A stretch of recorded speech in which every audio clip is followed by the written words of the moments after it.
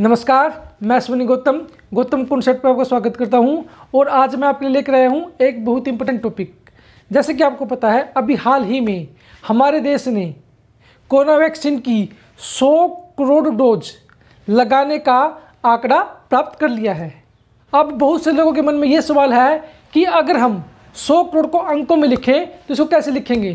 तो चलिए देखते हैं कि हम 100 करोड़ को कैसे लिखेंगे।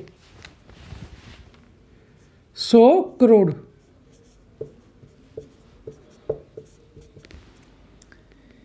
इकाई, दहाई, सैकड़ा, हज़ार, दस हज़ार, लाख, दस लाख, करोड़, दस करोड़ और सौ करोड़। इकाई, दहाई, सैकड़ा, हज़ार, दस हज़ार, लाख, दस लाख, करोड़, दस करोड़, सौ करोड़। अब फ्रेंड्स हम कोमल लगाएँगे। तीन तीन की पेयर में one two three one two three ठीक है? वन टू थ्री तो ये हुआ दोस्तों, सौ करोड़। ये बिल्कुल करेक्ट वे है सौ करोड़ को अंकों में लिखने का। अब आप सौ करोड़ को एक अरब भी कह सकते हैं। सौ करोड़ मतलब एक अरब। सौ करोड़ मतलब एक अरब।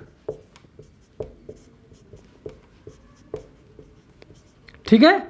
और इंग्लिश में आप इसको क्या बोलोगे? एक बिलियन कितना?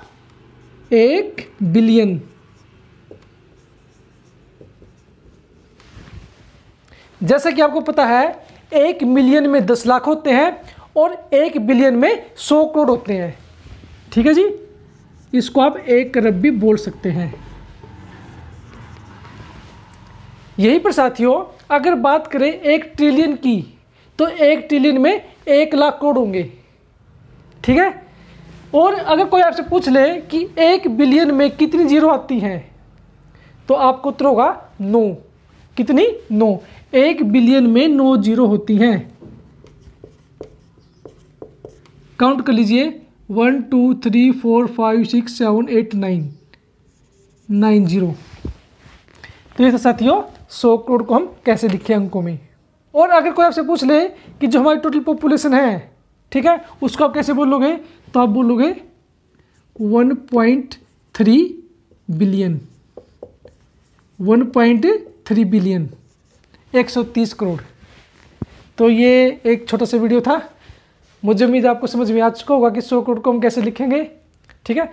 अगर फिर भी आपको कोई क्वेरी है, किसी भी प्रकार की, किसी भी टाइप की तो आप मुझे कमेंट बॉक्स में कमेंट कर सकते हैं। आज के लिए इतना ही। Thank you have a nice day